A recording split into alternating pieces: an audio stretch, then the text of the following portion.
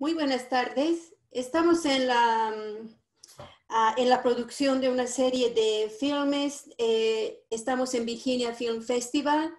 Ah, eh, tenemos aquí a tres productoras de, de tres películas. Ebony Bailey, productora de Jamaica y Tamarindo. María Soyo, productora de Tote. Y Megin uh, Etewolde Serrano, productora de Negra. Ah, bienvenidas a las tres. Eh, vamos a establecer aquí eh, un conversatorio. Muchas gracias a las tres. Eh, es un placer y a la vez un honor participar de este conversatorio. Muchas gracias, Federico, por la conversación. Cuacuatl. él es profesor de la Universidad de Virginia, quien me ha invitado. yo me llamo Sonia Alconini soy boliviana y enseño aquí en la Universidad de Virginia. Soy antropóloga eh, con especialidad en arqueología, eh, antropóloga. Eh, soy indígena y definida como latina. Aquí en los Estados Unidos decidí estudiar arqueología gracias a la memoria de mi abuela y de mis ancestros.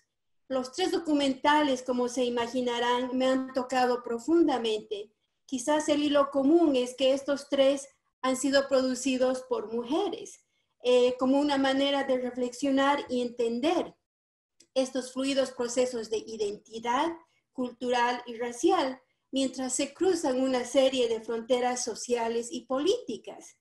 Eh, algunas de esas fronteras, como ustedes explican, son visibles y otras un poco más invisibles. Eh, cada una de estas historias tienen bastante fuerza porque son historias narradas por mujeres y para las mujeres. Em, veo un eje, conductor en las mismas y es la experiencia del racismo, eh, ya sea de ser mujer negra o indígena.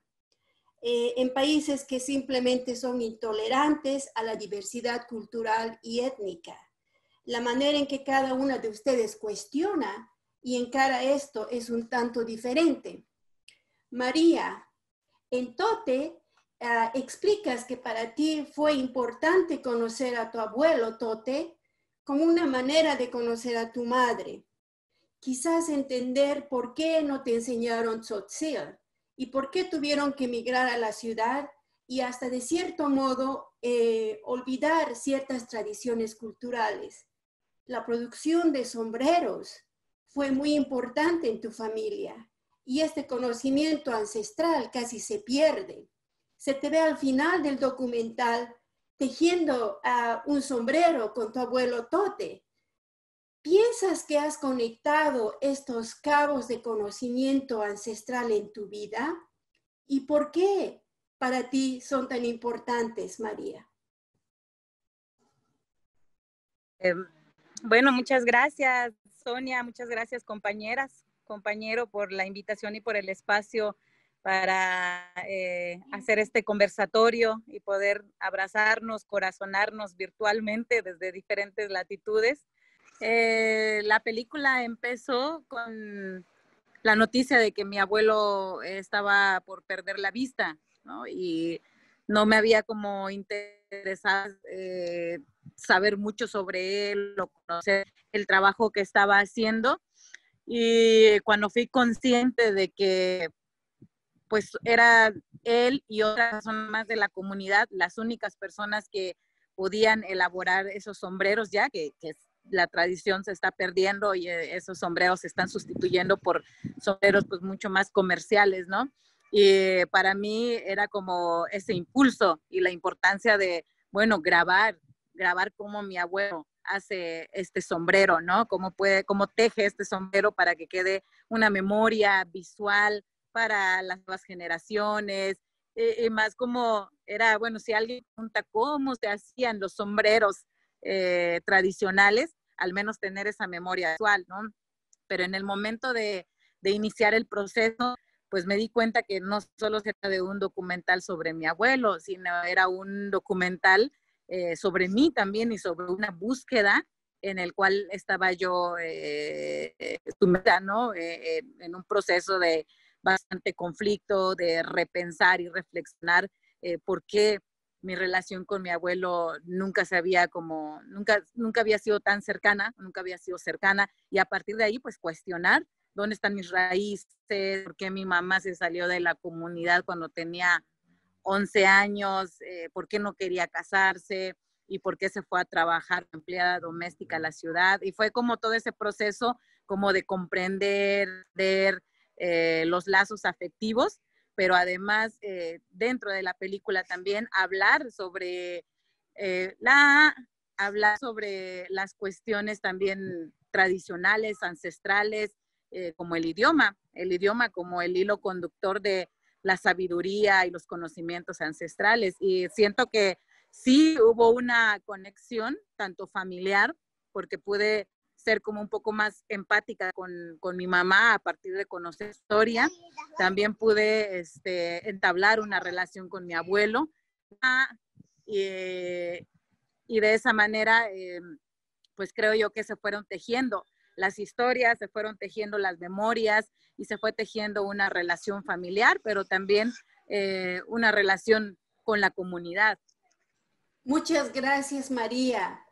Eh, en el documental Negra narras una serie de vivencias de mujeres con identidad afromexicana que luchan por mantener viva su identidad negra.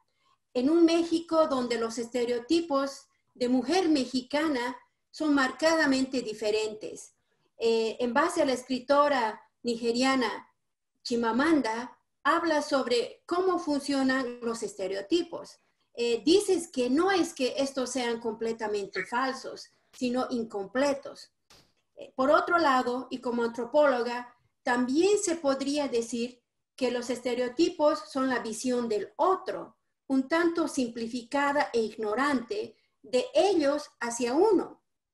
En este sentido, cuéntanos un poco sobre tu reflexión sobre todo cuando filmabas el documental como un proceso colectivo de mujeres. Háblanos de la catarsis y quizás empoderamiento colectivo y de autorreconocimiento que han sentido ustedes en el proceso. Bueno, me sumo a los agradecimientos que ya dijo María. Gracias por el espacio. Gracias, Sonia. Gracias, compañeras, por hacer estas películas tan bonitas. Este, y para ser breve, bueno, empiezo. Em, quizás, eh, bueno, yo hice, hice, esta película creo que en un momento en donde yo sentía que tenía ganas de volver a, hacer cine o hacer documental, más bien. Eh, y para eso sentía que que, para mí iba a ser cómodo, digamos, y sentía legítimo hablar desde, desde un tema, desde algo que, me atravesara, ¿no? Y, entonces en ese sentido, pues ser mujer y ser negra era algo que me atravesaba y entonces tenía claro que, por ahí iba la cosa, ¿no? Em, y entonces empezó un poco como, como como un proceso en donde, de búsqueda, ¿no? Como para entender, precisamente para no caer como en estas ideas que universalizan las experiencias, ¿no? O sea, no quería decir que mi experiencia era, e, e, es, e, es, como lo mismo que le pasa a todas, eh, a todas las mujeres negras en territorio mexicano. Entonces también por eso eh, la película em, se plantea desde una búsqueda, ¿no? Para entender si lo que me había pasado a mí había pasado también a otras, ¿no? Un poco para eh, despersonalizar, digamos, la experiencia o desindividualizar la experiencia, una experiencia racista y entenderla como algo más grande, ¿no? Como que no es casualidad, ¿no? Que a todas nos pasaron cosas parecidas o nos pasan cosas parecidas. Entonces, em, eh, pues eso fue como una búsqueda eh, y en esa búsqueda también un poco creo que el objetivo era mostrar como esta diversidad de mujeres negras, ¿no? Porque también creo que hay como, como esta idea de que, de una idea casi única de, de cómo es la mujer negra, por lo menos aquí en México creo que hay como, que es, es muy, eh, es como pequeña la visión que hay en cuanto a, a esta identidad, entonces también para mí era importante como mostrar esa diversidad. Y, y, bueno, y así fue. Entonces, este, pues conocí, compartí con, con muchas compañeras eh, negras del sur de México. Eso no quiere decir que no haya eh, población negra en otras regiones en México, pero bueno, son era lo que me quedaba a mí más cerca porque yo vivo en el sureste de México y, fue hasta donde pude llegar, digamos, que son tres, los eh, tres estados del sur que son Chiapas, Oaxaca y Guerrero, ahí fue donde, eh, donde fui a buscar, digamos. Este, y, bueno, la verdad que encontré como eso, experiencias y historias maravillosas y poderosas todas. Em, fue muy difícil escoger cuáles iban a entrar a la película y cuáles no. De verdad que fue muy difícil, una selección muy difícil.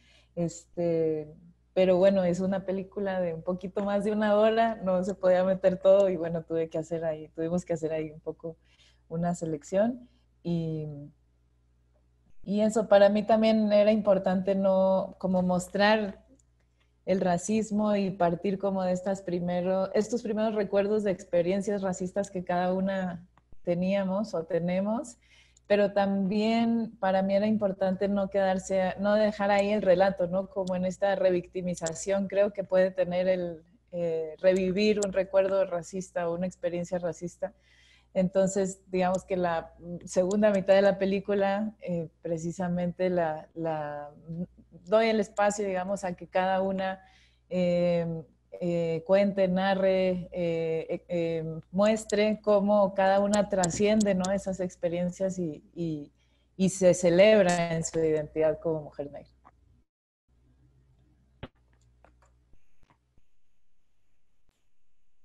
Muchas gracias, Megin.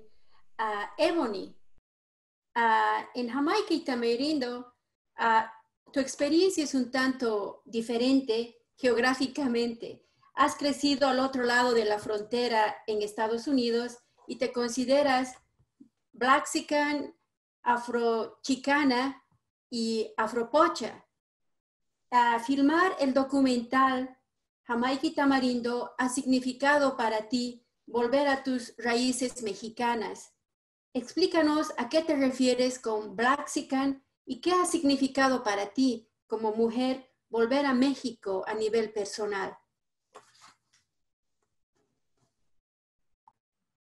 Muchas gracias, Sonia. Y como las otras han dicho, pues muchas gracias por el espacio y gracias por hacer sus películas y pues compartir y abrir este espacio para nosotras.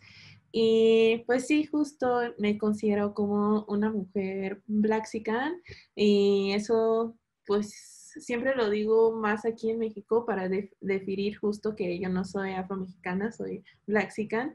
Y eso quiere decir que pues tengo, al, menos en mi caso, que tengo una mamá mexicana, americana y un papá afroamericano o afroestadounidense.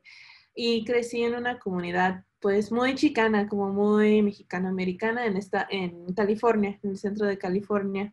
Y pues lo digo mucho aquí, lo digo uno todavía en inglés, no digo blaxicana, no sé cómo diría, negricana, no sé cómo se diría en, en, español, pero lo digo en inglés justo también como para diferir que justo eh, crecí en otra geografía y que con un distinto pero también, aunque creo que mi contexto es distinto, cuando yo vine a México y conocí a personas afromexicanas en lo personal y también para grabar este documental, pues sentí muchas experiencias compartidas, muchas experiencias de la infancia, también como experiencias que retrató Medellín en su documental.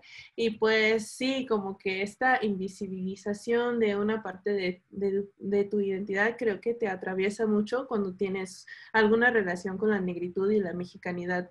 Entonces, eso es lo que, pues sí, me tocó de, manera muy personal cuando vine a México, vine a estudiar eh, la maestría en cine documental y Jamaica y Tamarindo es mi tesis de maestría.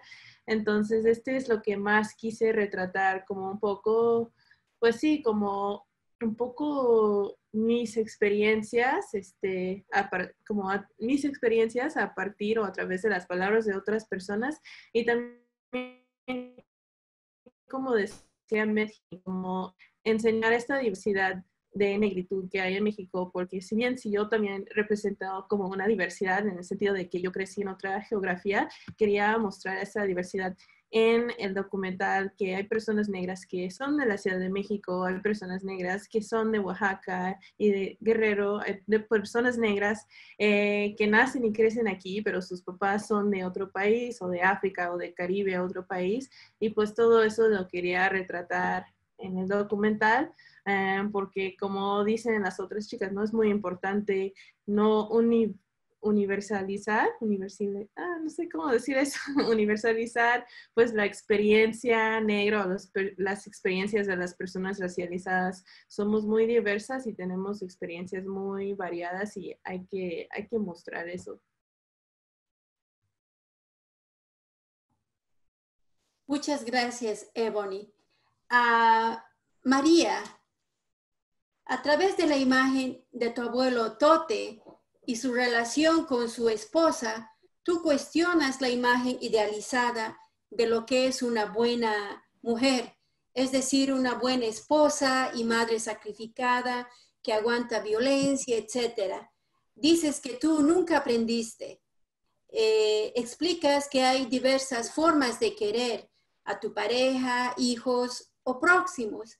El querer como, eh, como se quiere en la lengua tzotzil, y querer en español con afecto quizás más físico.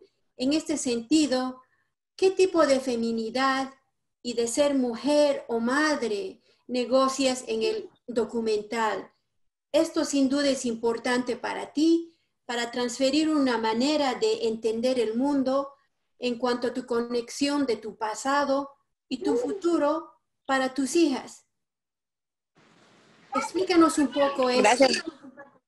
Ya, sí, Sonia. Em, creo que siempre, como dicen, el, eh, uno no cambia al mundo con el documental o con una película, ¿no? La película nos cambia a, a nosotras, a nosotros quienes nos involucramos. Y fue un encuentro, fue un cuestionamiento, fue también el encontrar con varios patrones de edad, de los cuales yo no estaba como dispuesta a aceptar, ¿no? Y era como ese cuestionamiento y las preguntas también al abuelo en la película es, bueno, cuándo te casaste? ¿Cómo te casaste? Eh, ¿Cómo se llama tu, compañera? ¿Cuántos años tiene? Y el hecho como de, ir como retando un poco o cuestionando esos patrones.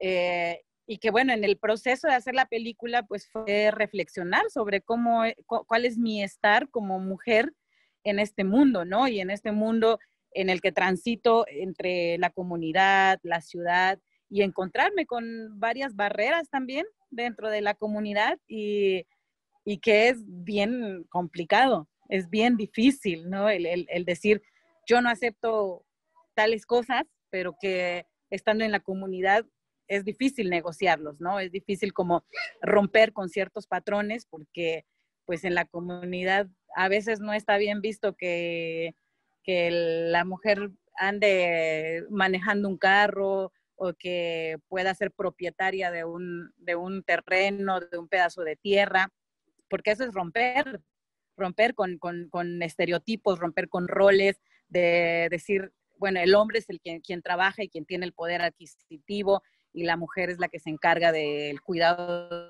de la casa y que también no es que esté mal, ¿no? Poder como eh, confrontar también mis ideas que vienen, que venían mucho de, de una construcción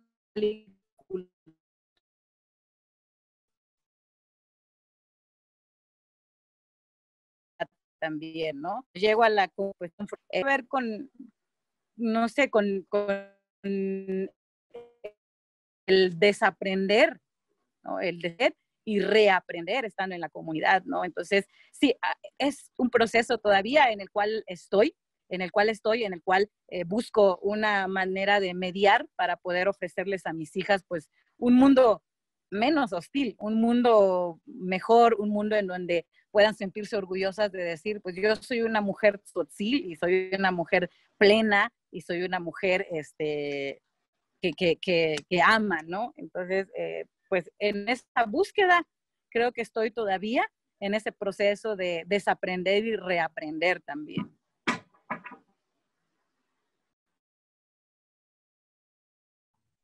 Muchas gracias, María.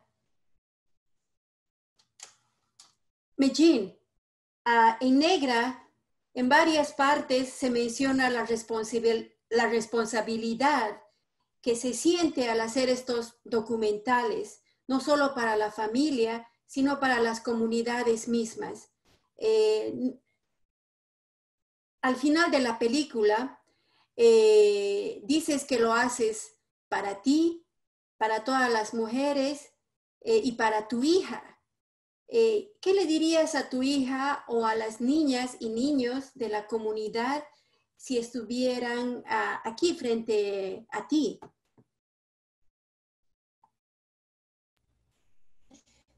Em, fíjate que justo hace, hace poco me hicieron la misma una pregunta muy parecida, como de qué les diría yo a los niños y a las niñas. Y mm, la verdad que no, no, supe muy bien qué contestar y luego que lo pensé, em, pensé que creo que más que a los niños y a las niñas, eh, pediría a papás, mamás, tutores, quienes acompañan, acompañamos las infancias, que, les, que podamos procurarles, ¿no? Como tener más referentes de, de, de la diversidad en general, no solo de raza, de género, de, etnias, de, ¿sabes? Como, eh, que eso creo que por lo menos yo en mi experiencia personal y creciendo como que yo ahora que la película me doy cuenta que hice la película que a mí me hubiera gustado ver de joven, de chica, ¿no? Me hizo falta tener más referentes uno, me hizo falta tener referentes de personas negras, en particular de mujeres negras, que existen población negra en México. Y por otro lado, que sean referentes dignos, ¿no? Que no sean siempre tan folclorizados, tan estereotipados, ¿no? Como, como normalmente lo hacen los medios más comerciales, digamos. Este, entonces, yo creo que mi, o sea, creo, creo que los niños y las niñas, y por lo menos en mi experiencia como mamá, eh, eh, no, no saben que son, si son diferentes hasta que el mundo se los dice, ¿no? Entonces creo que reforzar como esta idea de que existe la diversidad y que tú eres parte importante de ella, de que tú puedes ser parte importante de ella, este, me parece un punto eh, clave ¿no? e importante. Creo que por ahí. Muchas gracias, Mechin. Solamente mencionar que con estos ah, eh, documentales, ustedes ya son un referente bastante importante para la generación que viene. Si bien faltaban, no sé, los referentes femeninos eh, importantes, así con esa fuerza y carácter, eh, ustedes ya lo son, chicas. muchas felicidades. Eh, las personas que vean esas películas, pues ya las ven a ustedes. Lo que faltaba ya se está construyendo ahora. Ya las van a ver las hijas, las nietas, las sobrinas, las mujeres de las comunidades. Ahí, ahí se empieza, ¿no? Entonces, eh, felicidades a cada una de ustedes.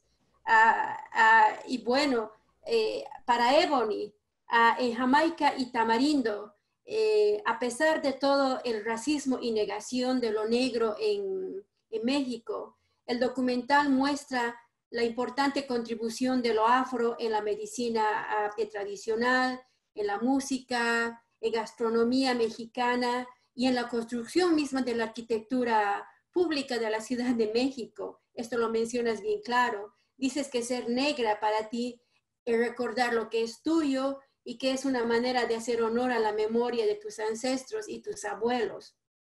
Cuéntanos más sobre esto y tus futuros proyectos eh, y metas de vida. Pero no, no escuché la, la última parte de la, de, la película, de la pregunta. Se cortó un poco por mi lado. Eh, simplemente, ¿qué futuros eh, planes de vida, uh, de vida tiene Seboni? Ahora que has terminado esta película tan linda, ¿qué más vas a hacer? Gracias, qué gran pregunta. Pues,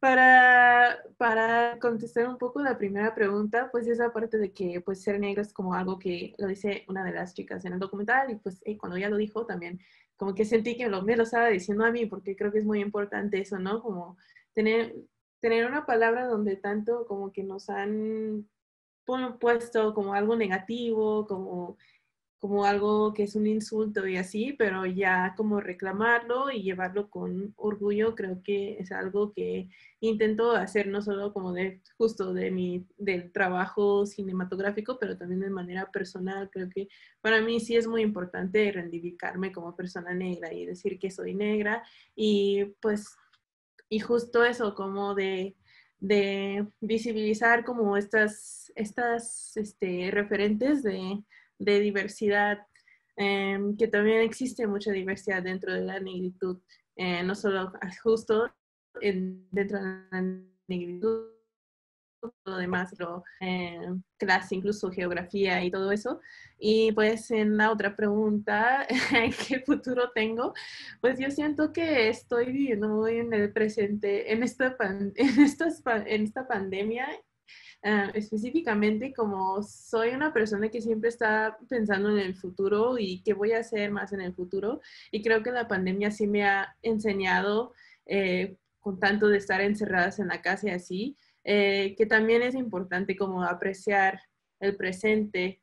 Em, pero, pero este, sí, después de hacer el, la maestría, em, después de hacer esta tesis, pues sí me gustaría como seguir haciendo documentales y así. Creo que estoy muy como clavada en, en documental, me gusta mucho documental. Estudié periodismo, entonces como esta onda de no ficción es lo que me, me gusta mucho y em, también como continuar, este, trabajar para otras como agencias así, para ir aprendiendo también otros, como otros, ¿cómo se llama? Como, pues sí, otros campos de, de producción. Ahorita estoy trabajando para una organización que se llama Mi Gente y pues sí estoy aprendiendo mucho como sobre otros campos también de producción y eso me gusta mucho.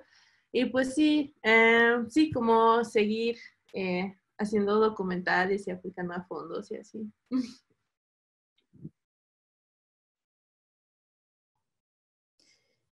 Muchas gracias, Ebony. Bueno, tenemos eh, algunos minutos. No sé si tienen algunos comentarios eh, que quisieran compartir a alguna de las productoras. Eh, no sé dejo abierto. Hay algunos minutos. Medellín. Yo solo que, ya lo dije al principio, pero es que no me voy a cansar de decirlo. Es que, bueno, no conozco personalmente a Ebony y a María, que vivimos además en, cerquita. y quería felicitar las compañeras. La verdad que, que es bien poderoso su, sus trabajos y me da mucho gusto conocerlas y, y me da gusto coincidiendo por ahí en los caminos y, y que sigamos haciendo pelis para rato.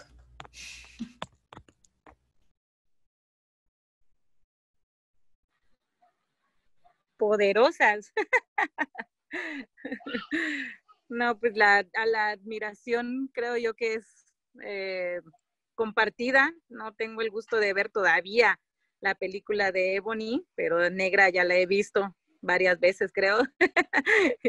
y, creo yo que es importante, ¿no? Conocer esas otras realidades, las otras, eh, los otros mundos, ¿no?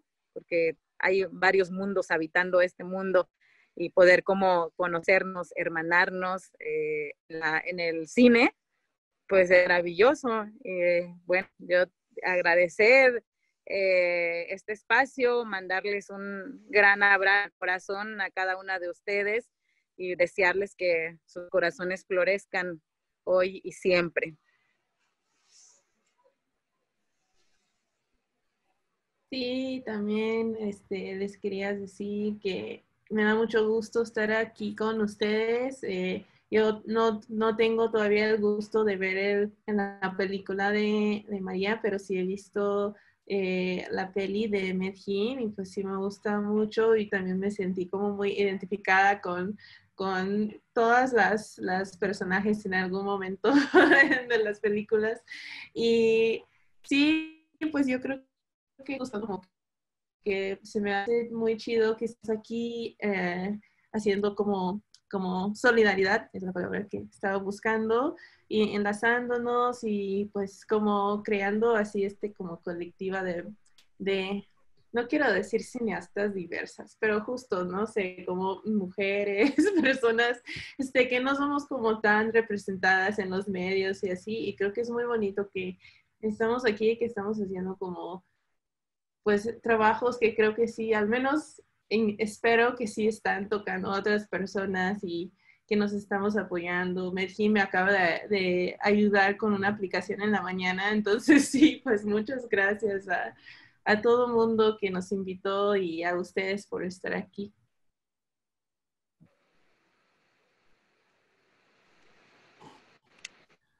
Un abrazo a todos ustedes. Eh, ustedes realmente son una fuente de inspiración. Yo debo admitir que al ver la película de cada una de ustedes, montón de lágrimas, yo sé que el público se va a sentir identificado. Como les decía, si falta, si faltaba para las generaciones pasadas imágenes de personas, de líderes, de, para las niñas que se vean, no sé, reflejadas. Yo soy profesora y les digo, el impacto yo puedo ver, ¿no? En las estudiantes, eh, no ver imágenes de mujeres profesoras, ¿no? Latinas, indígenas, eh, minorías. Eh, cuando ven a una profesora o alguien diferente que se identifique, que sean como ellas, las estudiantes, no sé, el efecto que eso tiene, ¿no? Para las niñas es eh, jóvenes, es increíble. Entonces, eh, yo les digo, el trabajo que ustedes hacen tiene su efecto. Ustedes no están sintiendo, no están percibiendo, pero yo les aliento a que sigan trabajando porque tiene su efecto. Muchas felicidades a, Chicas, a cada uno de ustedes un abrazo enorme, mi admiración. Gracias, Sonia. Y gracias al Festival de Virginia. Gracias, Federico. Que si, no, que si no, pudimos ir este año, que nos inviten el próximo.